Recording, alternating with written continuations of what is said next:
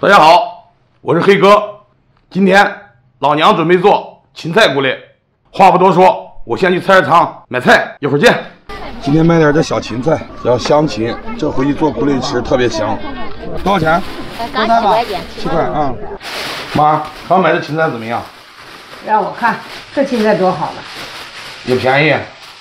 那买菜的也惯了，去那儿两块五这么一把，我说拿上三把吧，人家说你给七块。这做生意的都会做，这叫互利。对，以后注意饮食了，你吃的素点啊，大鱼大肉。我姨都给我打电话了，说柱子你不敢这么吃了。这基本上都不用摘一洗就行了吗？这就是把头一摘就行。就把根揪了就行了。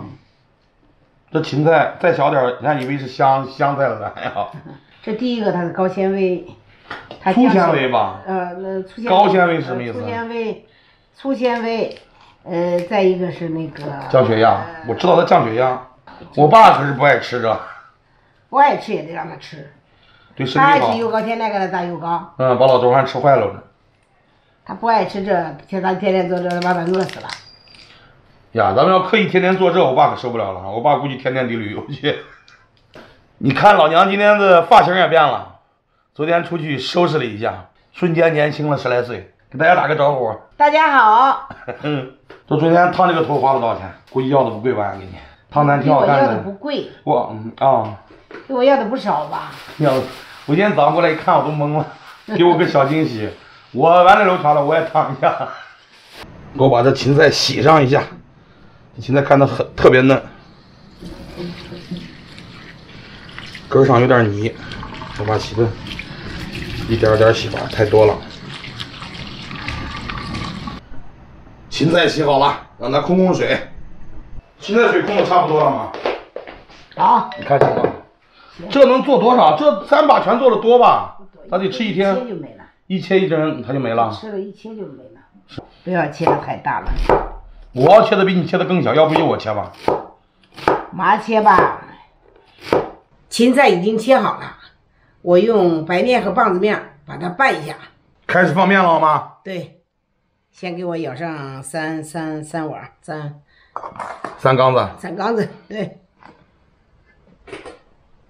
这个棒子面和白面的比例大概是多少？三比一。三比一就是三缸子白面，一缸子棒子面。棒子面多了也不好吃，没有棒子面也不好吃。对，加点粗粮还是好。再来一点吧，我觉着。再来上半缸子。再来半缸子吧。好。现在在这个情况下，我放点花椒面。棒子面吧，先。等一会儿，我放到这面上面它不是好搅匀吗？好，这是花椒面，现在来上一缸子棒子面。你这棒子面它磨的也细，挺好的。行了，这够了吗？叫我拌，拌着再看，这大概的，大概的，大概的就是这了。这个是搓一搓，才能看出来了。就这么一小勺就够？一勺两勺吧，行了。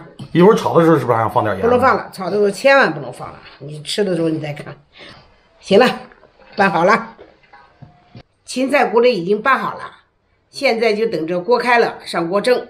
锅开了，我现在把拌好的芹菜菇类上笼屉。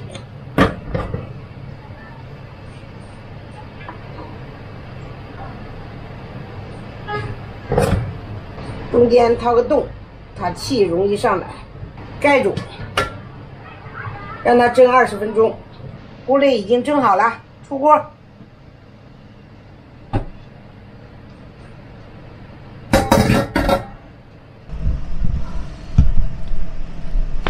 热气腾腾，闻见香味了吗？闻见了芹菜香吧？闻见就是芹菜的香味。香喷喷的菇类就蒸好了。现在把它再炒一下，就可以吃了。搁葱花爆香，葱花已经炒香了，搁一点点花椒面，再搁一点点咸盐，把葱香炸出来就行。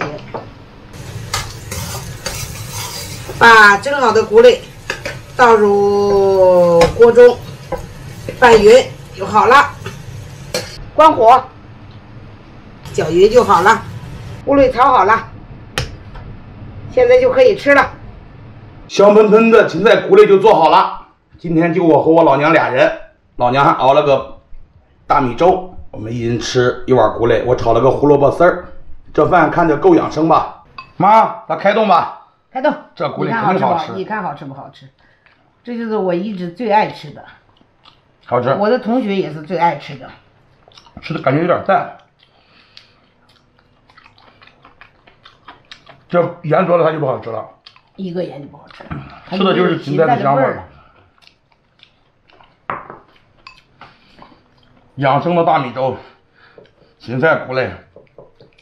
你像以前这些饭，像我年轻的时候我就不吃，我就不爱吃啊。我也不爱吃，到后面了，反正就吃完之后，到后面了。随着岁月的流失，咱们慢慢变老。那粗的芹菜它能做吗？能做，它那是叶儿那就是光那叶儿，它那个咱也能做，它没这么香的。就利用这种香芹。现在这都吃的精了，桌上掉了块肉，我上没这。个，这个搁点这棒子面它就酥。你假如你假如不搁蓬松，它是你假粘的，如不搁棒子面，它就是粘的。粘疙瘩，不好吃。我四十年前的好友来了到我家，嗯不让我做别的，嗯，就是菇类。把骨类给他做上。我说行，把切腹米饭熬上。我说行，等明年开春有了槐花，我做回槐花菇类，那好吃。开春咱们就到地里去木去踏青去，提提提菜呀什么，咱们就养生去。咱们到那边泽，从开始拔菜到蒸一条龙我我拔是吧？你这吹。啊，是今天的芹菜苦类大家学会了吗？如果有什么疑问，可以在评论区给我留言。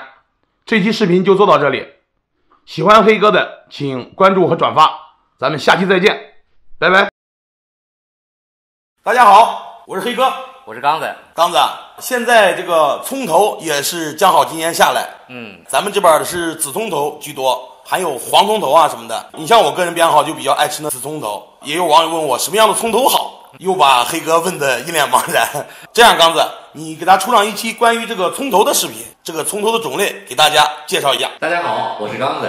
今天呢，咱们来说一说洋葱。洋葱呢，又称圆葱，或者呢叫葱头，这个也是春天和夏天呢在市场上比较常见的蔬菜。一般我们在市场上呢比较多见的就是一种紫皮的洋葱，还有呢外表皮是橘黄色的这种的洋葱。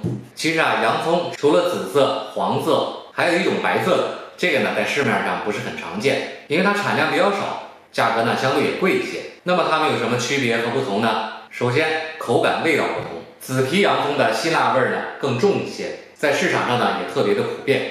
而这种黄皮的洋葱呢，它这个辣味儿啊比较居中，甜味儿和辣味儿啊相对比较均衡一些。那么在我们家庭应用当中呢，紫皮洋葱经常被用来炒菜或者是凉拌菜，黄皮洋葱呢适合直接生吃或者蘸着酱来吃。第三个呢，就说它它的营养价值。其实啊，紫皮洋葱才是营养价值最高的。紫皮洋葱为什么这么辣呢？因为它含的这种叫蒜素的东西比较多。紫皮洋葱中呢，含有一种物质叫栗皮素，这个呢是一个天然的抗癌物质。而且我们生活当中呢，经常呢用紫皮洋葱和木耳来凉调，这个呢具有降血压、降血脂这么一个保健的功能。所以呢，对于我们普通家庭来说，紫皮洋葱还是最好的选择。那么对一些不喜欢洋葱辛辣味的呢，可以买一些这种黄皮的洋葱。那我们在市场上如何去挑选好的洋葱呢？我们第一个是要看体型呢是不是圆滚滚的，表皮呢比较干净完整，包裹的也比较的紧密。撕去这层干皮呢，看它的表面非常的完整，有光泽，而且整体呢没有什么磕碰造成的损伤。如果有这种伤痕呢，它会很容易造成洋葱的腐败，也就不耐存储。第二个呢是要闻一闻它的味道，如果我们能明显的闻到洋葱的本身这种气味呢，这就说明呢洋葱已经不太新鲜了。我们最好挑这些呢闻不出来洋葱味道的洋葱。第三个呢就是掂一掂，挑选两个体型呢差不多大的，如果它越重呢，说明它的水分含量越多，也就证明呢它比较新鲜。如果不新鲜的洋葱呢，说明它的水分呢流失了，所以呢就比较轻。第四个呢，就是凭我们的手感来摁一摁，好的洋葱呢，整体是比较硬的。我们还可以按一下洋葱这个顶部这个尖尖这块呢，如果按这个地方呢比较柔软，说明呢洋葱的内部有可能腐败，或者呢已经开始发芽了。这样洋葱呢，我们就不要去选购了。洋葱呢还有这个解腻的功效，尤其夏天在摊上吃这个羊肉串，我们都会要上一碟洋葱来配着这个羊肉串吃，口味真的很棒。好了，关于洋葱的挑选，大家学会了吗？希望刚子的视频对大家有所帮助，咱们下期节目再见。